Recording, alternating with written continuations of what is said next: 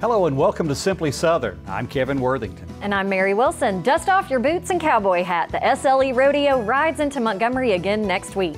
We'll talk with the cowgirl who heads it all up a little bit later. Children living with disabilities get the spotlight they deserve through a theater program that brings joy to both performers and audience members alike. Today on Simply Southern, we're taking you to a show that always gets rave reviews.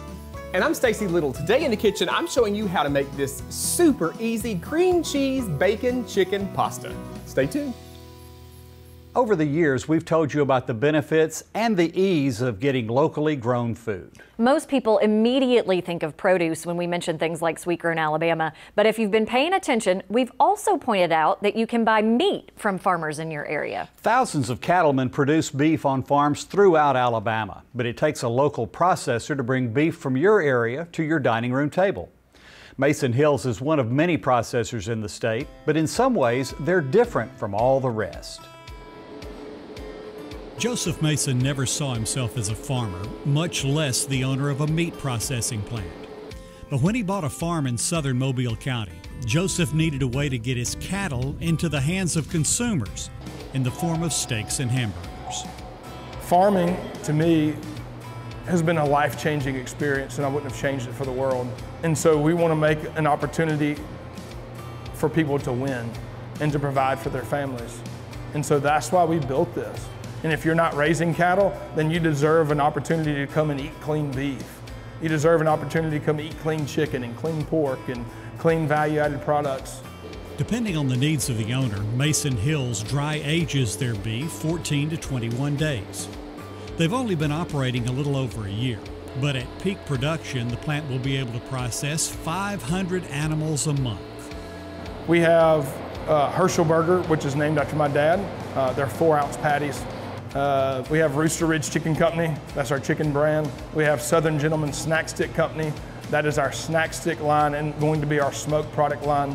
And then we have Rangers Dog Food, uh, and that is our dog food line so that we're making sure that we're utilizing the whole animal. We're trying to be really good stewards of everything that we've been given, and we want to make sure that we don't waste anything. While most processing plants in Alabama fall under state regulations, Mason Hills is the only locally owned facility that's USDA inspected. Joseph says that gives consumers peace of mind knowing their food has passed the most rigorous standards in the country. And Mason Hills works with farmers to help them improve the quality of the animals in their herd. Then we use artificial intelligence to grade the animal so that we can give you data back, important data, because you only have so much land and you only have so much time.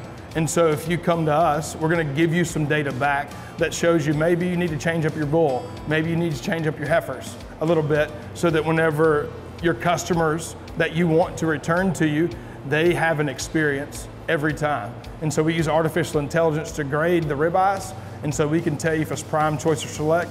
And very soon, we'll be able to put on your package if it's certified USDA prime, choice, or select.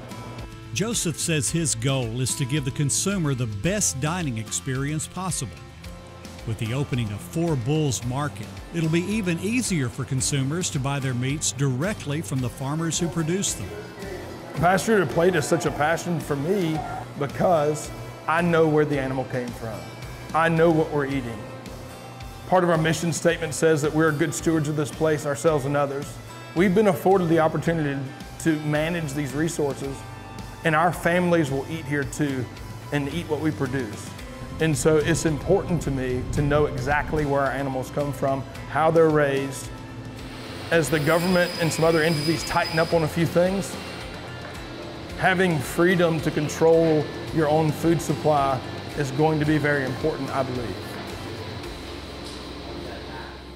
Right now, the products produced under the Mason Hills banner are available primarily in the Mobile area, but they will ship their beef and pork to you.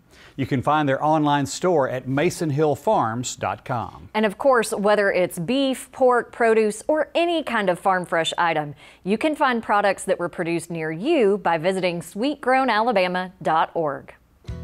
It's showtime. When Simply Southern returns, we're going to the theater to see a performance that will definitely have you requesting an encore.